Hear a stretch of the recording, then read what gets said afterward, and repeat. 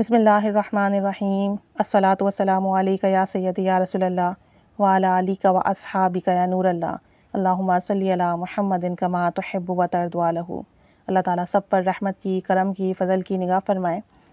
एक बहन का मैसेज आया। तो वो कहती हैं कि मैंने आपकी बहुत सारी वीडियोस देखी। आप अमूमन या तो इस्तग़फ़ार की बात करती हैं या दुरूद शरीफ की बात करती हैं।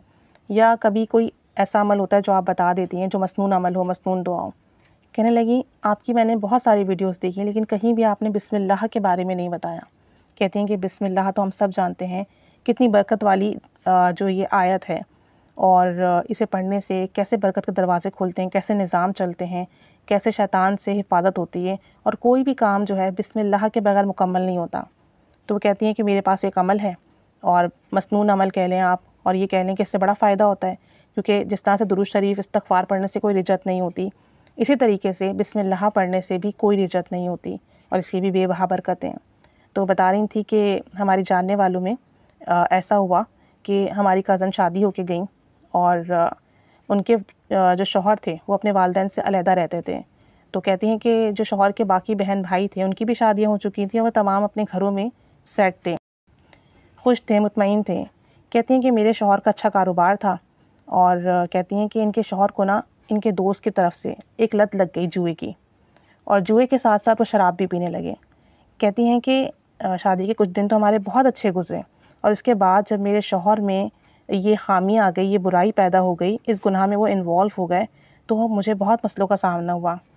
शादी के एक या दो माह के बाद ही ये मामला चल पड़े और फिर आ, मैं ये सोचती थी कि अभी एक दो महीने हुए तो ठीक हो जाएँगे सारे मामला। हो सकता है मेरी गलत फहमी हो तो मैं अपने शौहर को राह रास्त पर लाने की हर मुमकिन कोशिश करूँगी। कहती हैं लेकिन ऐसा ना हो सका। हमारी आमदनी अच्छी खासी थी घर बहुत अच्छा चल रहा था लेकिन आहिस्ता आहिस्ता करके ना मेरे शौहर ने जुए में शराब में सब कुछ हार दिया। कहते हैं कि कारोबार दिन ब दिन ख़त्म होने लगा क्योंकि कारोबार पर उनकी तवज्जो ही नहीं थी। और आ, सब कुछ वहाँ मौजूद जो मुलाजमीन थे उन पर छोड़ दिया। और इसकी वजह से क्या हुआ काम में कम कि दिन ब दिन काम में कमी आने लगी। और जो इनके कस्टमर्स थे वो इनसे नाराज़ हो गए। कि उन्हें सही चीज़ नहीं मिल रही है, वक्त पर ऑर्डर नहीं मिल रहा और रफ्ता रफ्ता करके सब ख़त्म हो गया। और कहती हैं कि फिर मेरे शोहर ने ना जब कारोबार ख़त्म हो गया तो घर की चीज़ें बेचना शुरू कर दी, क्योंकि कर्ज़ हो चुका था उन पर और जुए में चीज़ें हार जाते वो तो उन्होंने मेरे जेवर तक बेच दिए। और शादी के छः साल ऐसे ही गुजर गए। कहती है कि इन छः सालों में जो मेरी कज़न थी, वो उनके यहाँ चार औलाद भी हुई, चार बच्चों की माँ है अलहमदिल्ला वो, जिनमें तीन बेटियाँ हैं और एक बेटा है। और कहती हैं कि हालात इतने बिगड़ गए इन छः सालों में कि खाने के लिए भी उनके पास कुछ ना होता। रिश्तेदार उनकी मदद करते, कभी महल्ले वाले मदद करते, कभी कोई दोस्त, अहबाब उनको रहम खा के कुछ दे देते। लेकिन घर कब तक चलता और कैसे चलता? कहती हैं कि, कहती हैं कि मेरे वालदेन को मुझ पर बहुत रहम आता और मेरे वालिद ने कुछ पैसे इकट्ठे करके मेरे शोहर को दिए और कहा कि इससे रिक्शा ले लो, रिक्शा चलाओ, घर का खर्चा तो चले। बच्चे भूखे हैं, बीवी भूखी है, कुछ तो इंतज़ाम हो। कहती हैं कि मेरे शोहर ने रिक्शा चलाना शुरू किया। चंद महीने हमारे सुकून से गुजरे, घर का निज़ाम चलता रहा। लेकिन कुछ अरसे के बाद जब मेरे शोहर की जेब में पैसे आते रहे, वो रिक्शा चला रहे थे, उसके बाद दोबारा से उन्होंने उन्हीं पैसों से जुआ खेलना शुरू कर दिया, शराब पीना शुरू कर दी। और इस नहूसत की वजह से एक बार फिर मेरे घर में बीमारियाँ शुरू हो गई, परेशानियाँ शुरू हो गई, लड़ाइयाँ झगड़े शुरू हो गए और मेरे शोहर ने फिर रिक्शा चलाना ही छोड़ दिया। कहती हैं कि अब फिर एक मरतबा, हमारा जो घर का निज़ाम था वो बिल्कुल तबाह बर्बाद हो गया। बच्चे जो मेरे स्कूल जाना शुरू हुए थे कुछ महीने ही हुए थे और फिर जो है आ, पैसे ना होने की वजह से फ़ी ना दे सकी और मेरे बच्चे घर बैठ गए। कहती हैं कि मेरे शोहर की बीमारी भी दिन ब दिन बढ़ रही थी।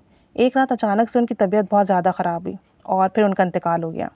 कहती हैं कि लोगों ने हमारी मदद की हम पर जताया भी हम पर एहसान भी किए लेकिन मसला ये था कि अब घर कैसे चलेगा?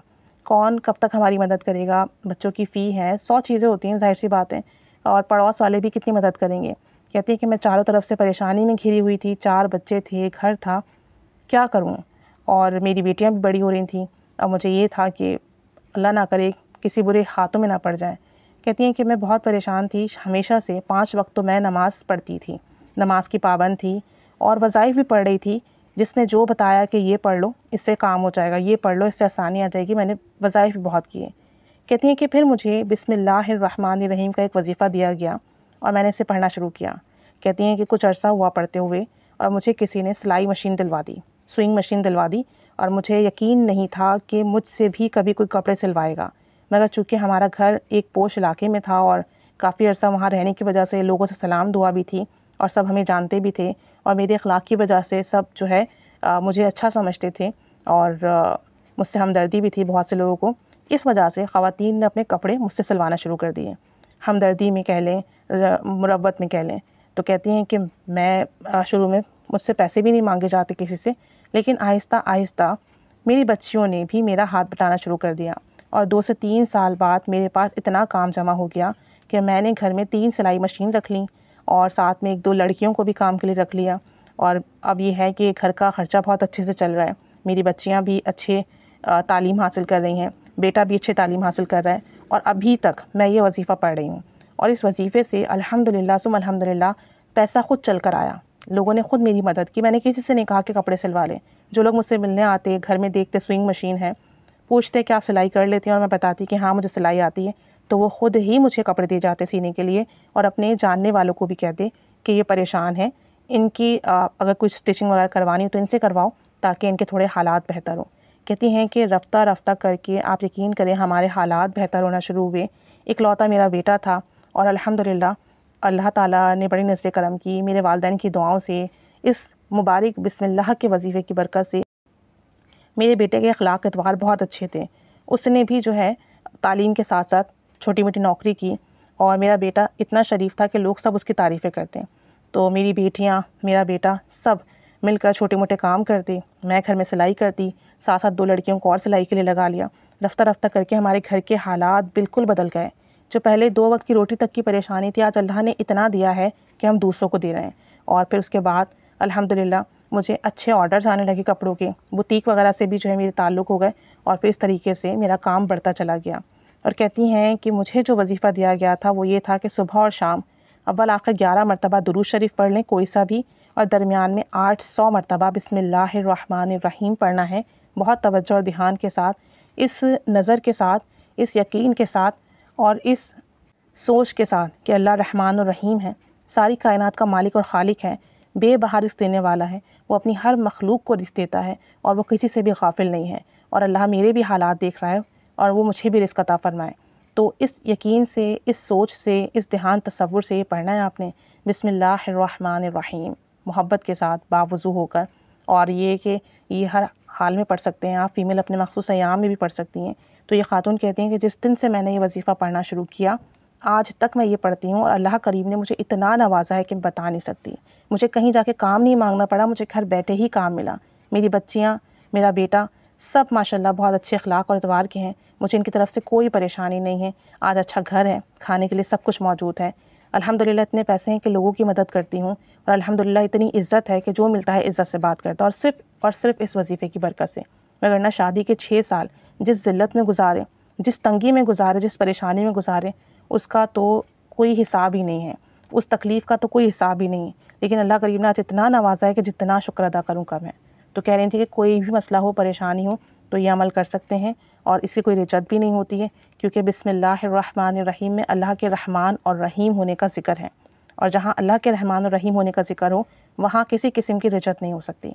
तो कहती हैं कि हर कोई कर सकता है, सुबह और शाम करना है बावजू करना है, तवज्जो ध्यान से करना है। इन ताला बहुत जल्द हालात बदलते हैं, मसले हल होते हैं, करम होता है, परेशानियाँ ख़त्म होती हैं और कहती हैं कि मेरे नज़दीक तो ये रिस्क खींचने वाला फार्मूला है, रिस्क की बारिश करने वाला फार्मूला है, रिस्क बरसाने वाला फार्मूला है। मेरे लिए ये इतना मुबारक अमल है, जिसने मुझे फ़र्श से उठाकर जो है ना, आप समझ लें हमारे पास कुछ भी नहीं था, एक दाना तक नहीं था और आज हमारे पास बेपनाह है, अल्हम्दुलिल्लाह। तो ये इनकी कहानी थी, मुझे एक बहन ने भेजी थी और कहा था कि प्लीज़ आप इस पर वीडियो बनाएँ ताकि बिस्मिल्लाह भी लोग पढ़ें और इससे भी लोगों को फ़ायदा पहुँचे अल्लाह करीम हम पर रहमत की निगाह फरमाएँ और सबको, सबके सोच का बेहतरीन जजा अता फ़रमाए, सबके काविशों का बेहतरीन जजा अता फ़रमाए, बेहतरीन बरकत अता फ़रमाएँ। आमीन, बजाहिन नबील, आमीन। सल्लल्लाहु अला मुहम्मद सल्लल्लाहु अलैहि वसल्लम अल्लाहुम्मा सल्ली अला मुहम्मदिन कमा तुहिब्बु व तरदु